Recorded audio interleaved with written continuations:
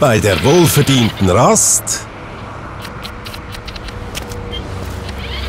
gibt's ein Biskuit für jeden Gast. Wendli teilt man gernli.